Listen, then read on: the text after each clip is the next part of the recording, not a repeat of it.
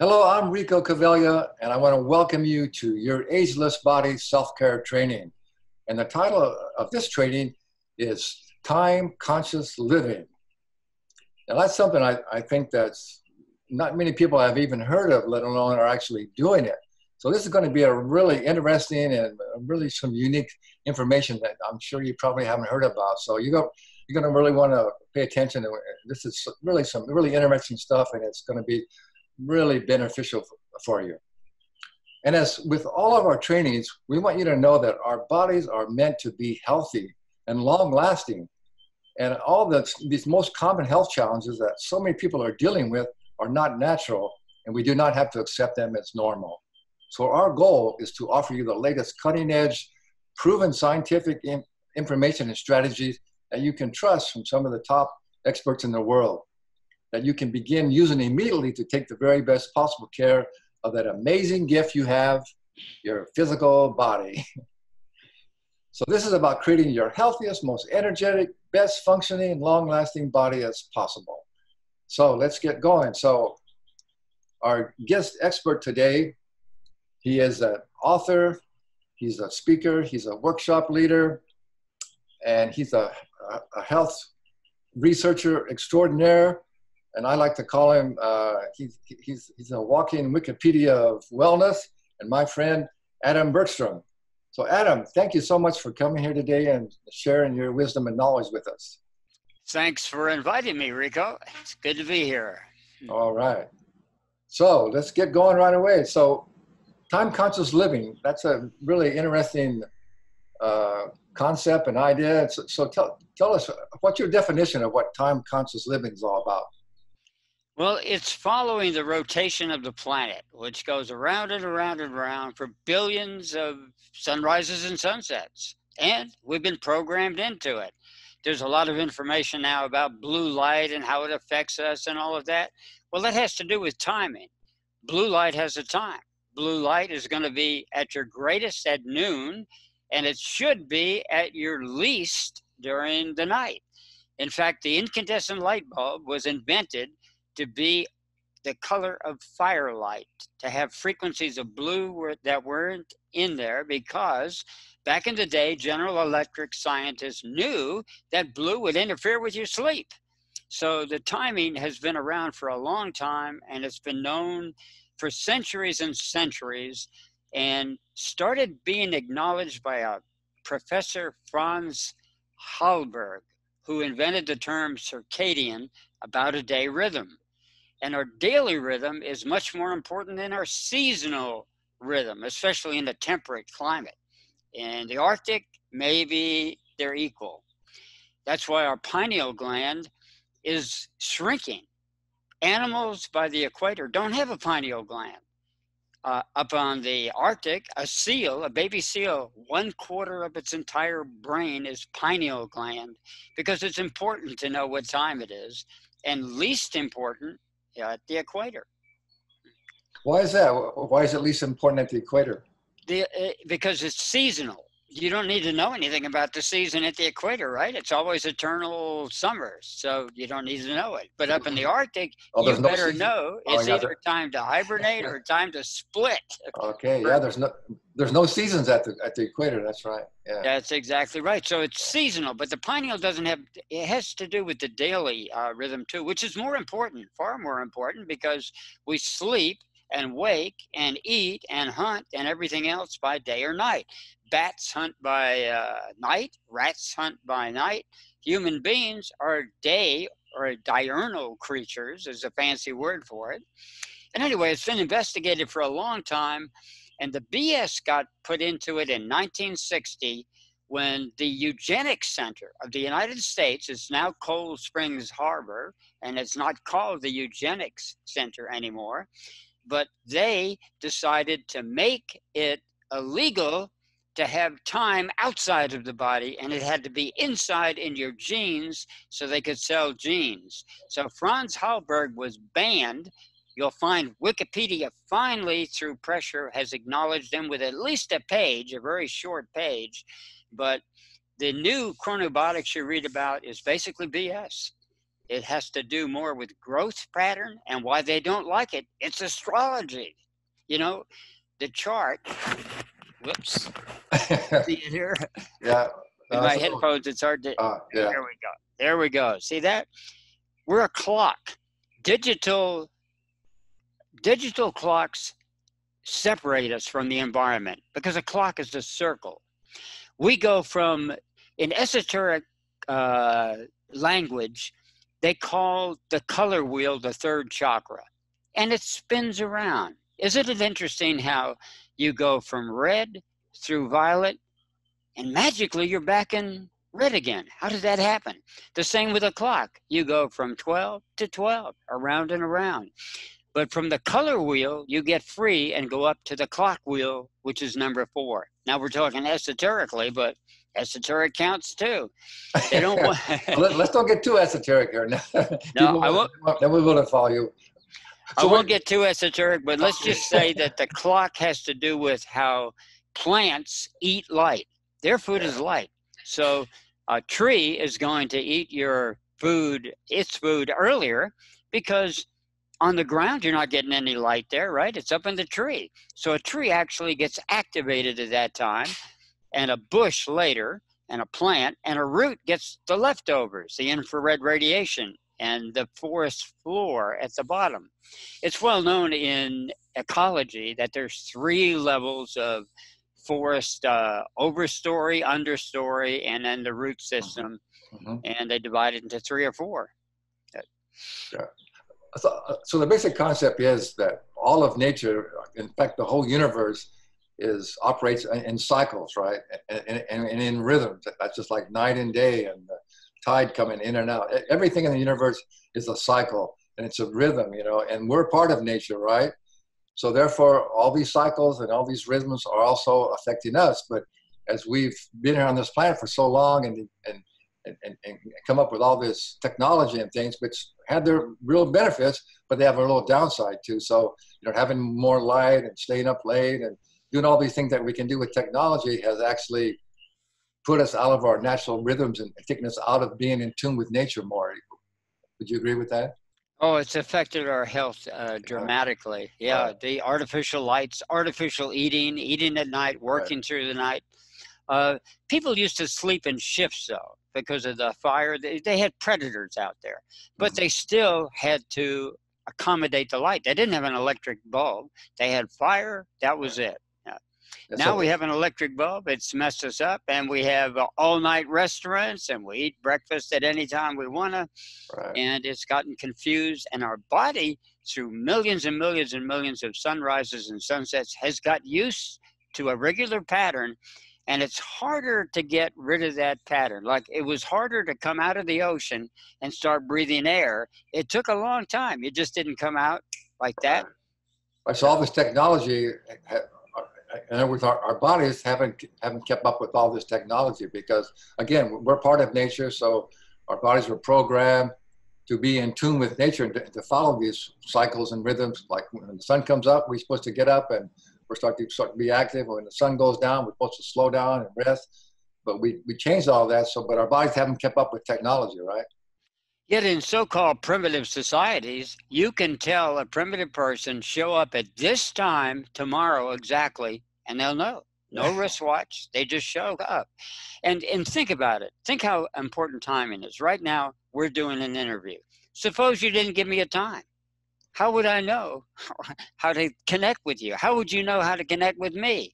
Right. Phone calls, work. Our society works on clocks. Unfortunately, mostly it's artificial clocks.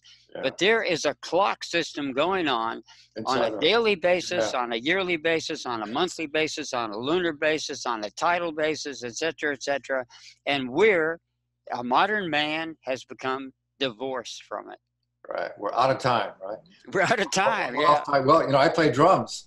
It's all about timing, right? It's all about Oh. You got to be on the right time, or if you get off time, it throws everything off, right? Is that that's a good analogy? I just thought of that right, right now. Yeah, everything. Any musician knows timing. Yeah. In fact, Right.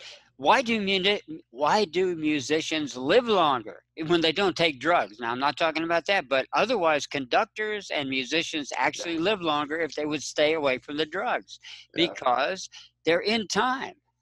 and also because we it's so much fun. We love to play music. It's it's it's the most fun thing I can really think of to do.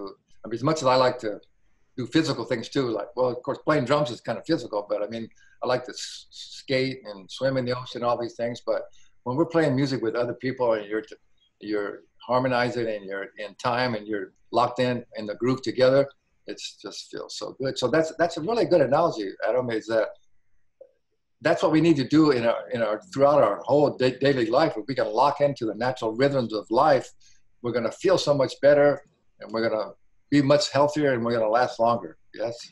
There's even complicated, musicians have done much for physics. There's something called temporal dissonance, which was invented during the Middle Ages, where you can play one instrument and get two instruments out of it magically by splitting time into two.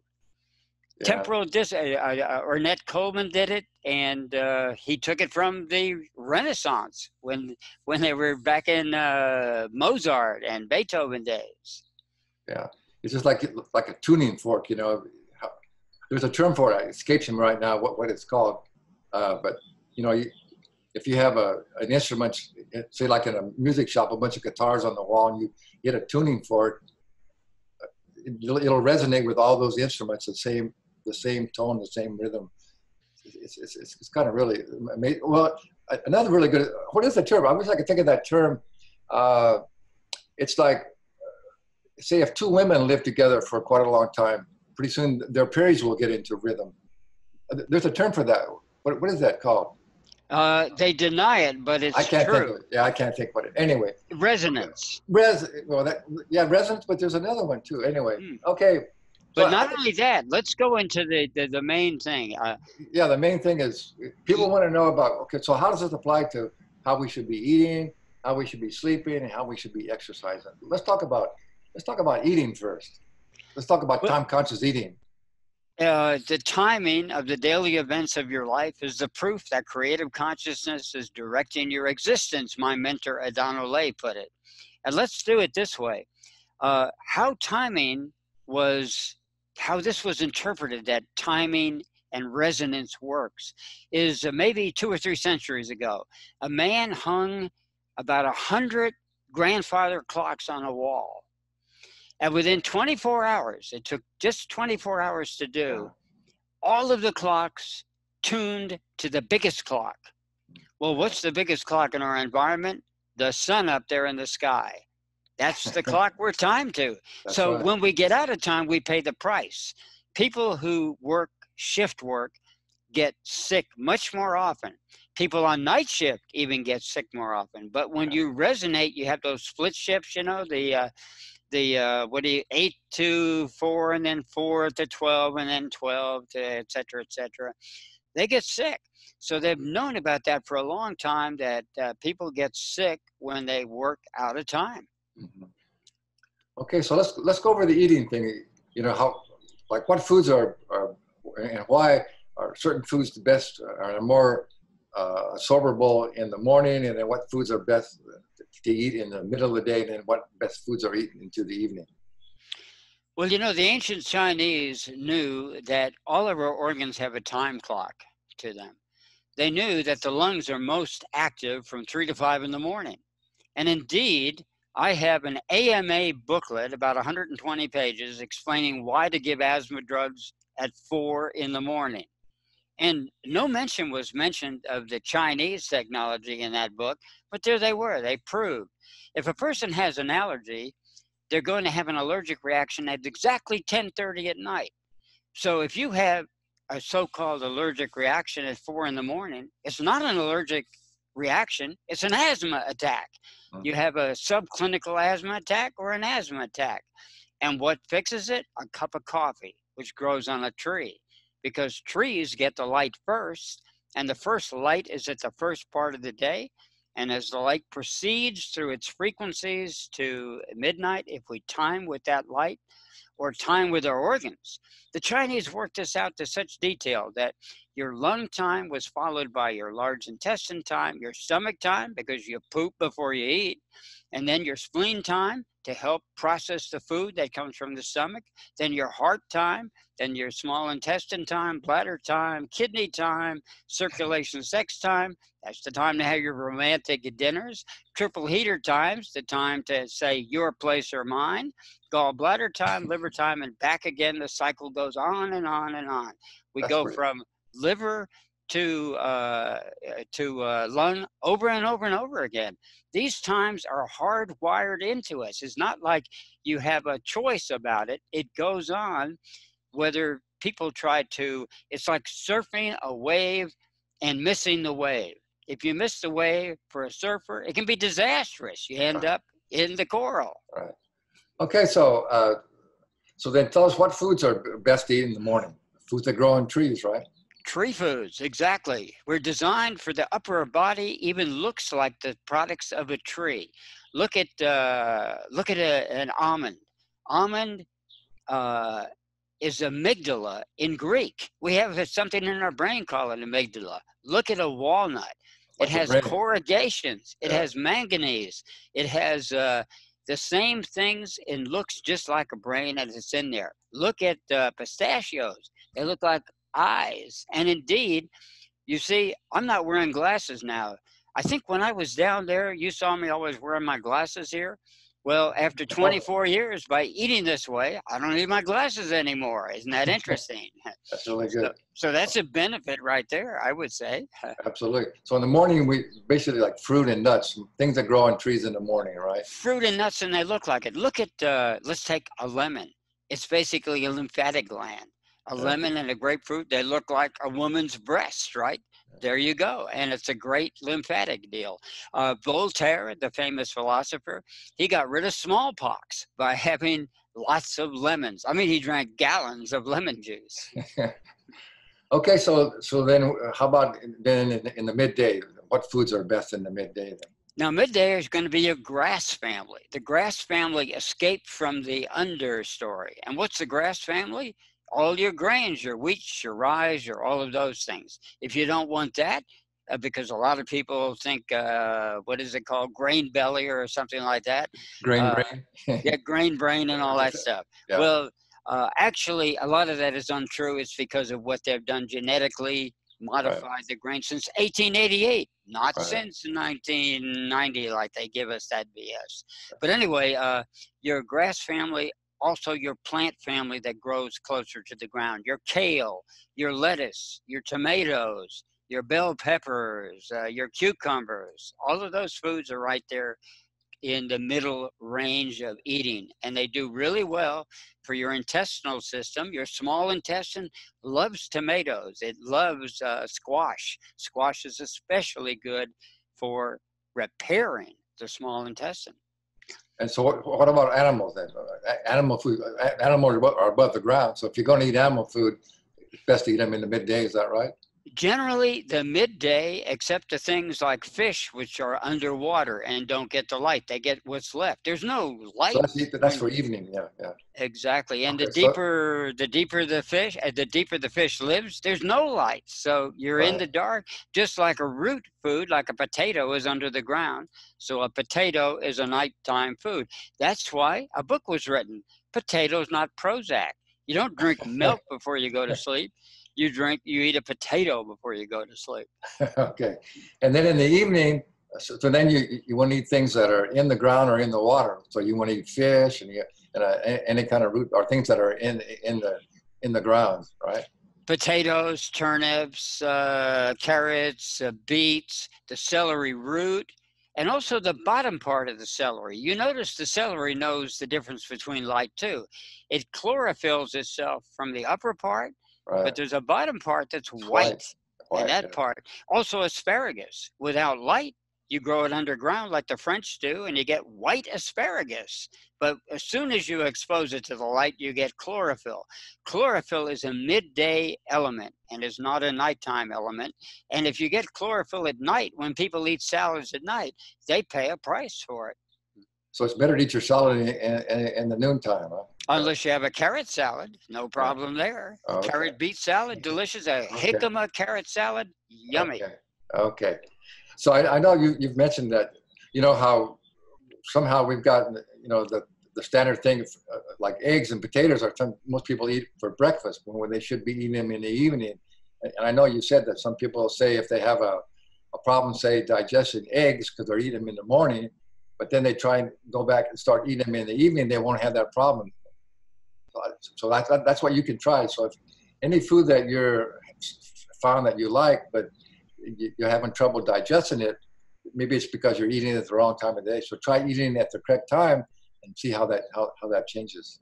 It might be it might really work for you. Yeah. Actually, you can triple your calories and lose weight. That's the amazing thing. Maybe the most amazing thing about eating solar nutrition or eating on time. Right. Gas eh, fat is gas pressure. Here's an amazing fact. During the Second World War, over 1,000 servicemen, their stomachs and intestines exploded when they were airmen. When they went up and there wasn't the pressurization uh, that we have in modern planes, mm-hmm. their intestines blew up. Because obviously, if you have more pressure within your stomach and less outside, yeah. what happens? So many people actually blow up. In fact, do you know people's stomachs have blown up from taking baking soda and they're advising people to take baking soda now? Now, it's really rare to do, but if you don't yawn and you don't pass gas, guess what? You're in danger of actually exploding and hemorrhaging your stomach or intestines. Yeah. Many so called gastrointestinal leakage and hemorrhaging is caused by eating out of time. Yeah, eating out of time. All right, well, let's move on to, uh, to uh, exercising. That's your bag, well, and you're good at it too. well, let's just just tell us then what what are the best times. Let's do the, the three main things. What's the best time then for doing aerobic exercise? In lungs, you said lungs times in the morning, right? So it's best to do aerobic exercise in the morning. Is that right? Uh, yes, no, maybe. It's good to do uh, your light uh, uh your your exercises that require anaerobic exercises like yoga at that point because strangely enough the lungs are its strongest with carbon dioxide not with oxygen your oxidation level is strongest exactly 180 degrees from that at urinary bladder time the lungfish used its bladder to breathe through to crawl onto the land our bladder and lungs are connected why why do smokers, cigarette smokers, get bladder cancer? Duh, because they're related intimately. Mm. So anything you want to do to protect your lungs, you have asthma, you go to three to five in the afternoon. It's a polar opposite. At bladder time, you eat melons, and then you have no more asthma. Isn't that interesting? Okay, but again, now tell us tell us what tell us what aerobic so when would you recommend is, is the ideal time to do aerobic exercise that's uh, 9 to 11 which is your secondary lung time there's three okay. shunts to lungs and that's okay. when you do your exercise okay. one is going to be spleen pancreas time when you want to lose weight and do mostly aerobic then three to five in the afternoon is when you want to gain weight and make muscle mass so now there's an, training.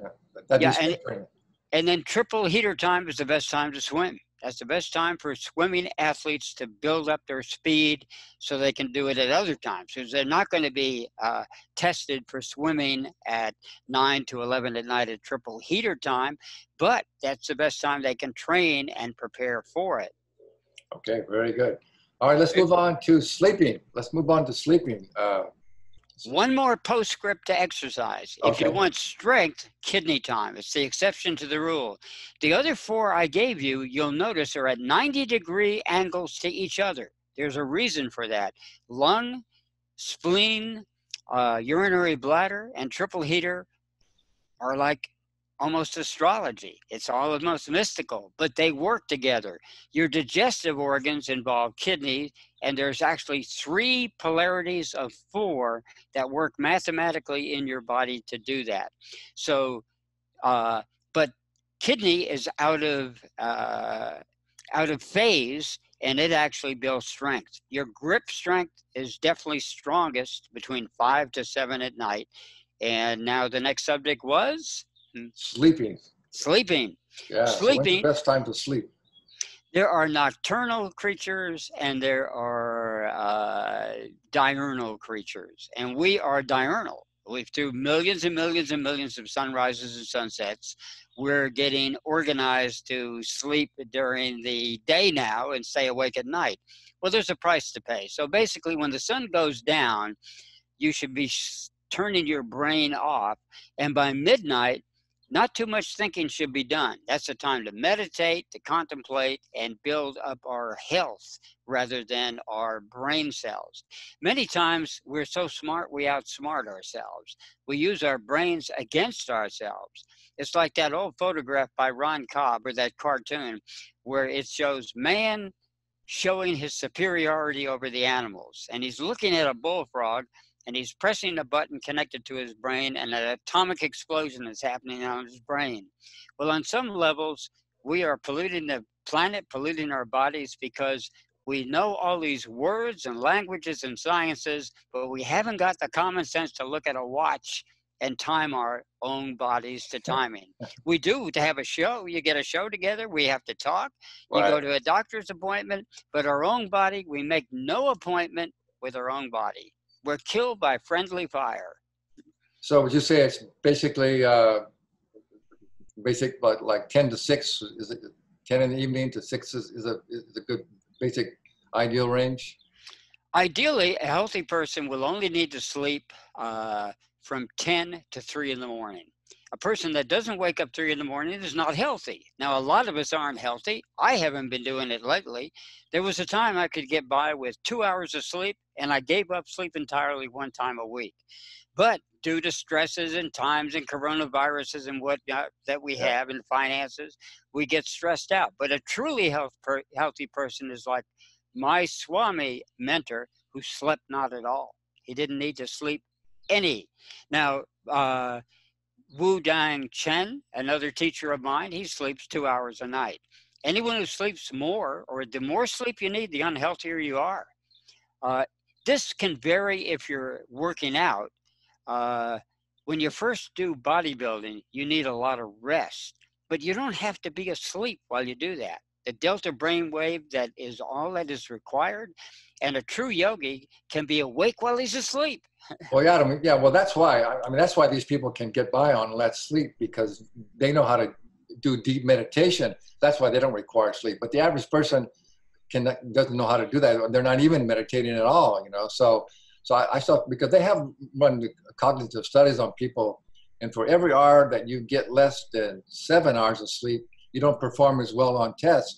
But like say, because, but if, yeah, if you know how to meditate, well, then yeah, you don't need that much sleep because. Or eat on time. That's one of the functions of eating things. on time. Exactly. You need less things, sleep. Right. Okay. And so, well, we okay, we covered eating, sleeping, and exercising. I think that's about all all we really have time for in this training. But as always, you know, I always encourage you if you want to learn more about this, uh, you know, you're going to have all the contact information of our experts. You'll have Adam's information and how you can contact him and, and check out his books and all his his uh, his trainings. So I always like to end by by saying that uh, if you have any ideas, you know, it's, it's one thing, as you know, knowledge without action is useless, right? So you can give people a lot of knowledge, but if they don't actually take action on it, it's not going to do them any good. So any ideas that how you may inspire people to actually try and implement some of these recommendations? I've been eating this way since 1975. That's uh, what's that? 45 years, something like that. 45 revolutions around the sun. Yeah. The easiest way is start gradually. Anytime a person gets fanatically into a diet, right. and does everything right because I do things other people aren't capable of doing. And it's habit now. I can't I almost can't do otherwise. I wake up in the morning, I have my almonds and I have my food automatically. Just like most people wake up and have their bacon and eggs. at a certain time in the morning, they're already timed into it. So first start gradually. Start adding uh, morning food like a banana into their cereal if they're not used to it, and work gradually. Because fanaticism, I find that people who are the most fanatic and start out the most fanatical give it up. Yeah, that's, that's right. So just like yeah, any extremes are not good, and that's why all these extremes diets don't work. And anything extreme is is, is, not, not going to be sustainable. All right, now, Adam. Now, of course, I was lucky. I started extremely, and it worked for me because I've been doing it for 45 years. But most people, I find it really doesn't work that way. Right, it doesn't work. All right. Well, thank you so much. And so, uh, again, both Adam and I, you know, we really encourage you to embrace some of this information and just give it a try. You know, and we're really confident that if you do, uh, you really you'll really get some good benefits. And it's it's really all about you know trying to become as healthy as you possibly can because the healthier you become, the better your life becomes, and then everyone you touch, their life becomes better as well. And that's what we're all about. So. Thanks very much for watching. Thank you, Adam, for sharing all that information with us. Really appreciate it. Thanks for inviting me, Rico. Thank you.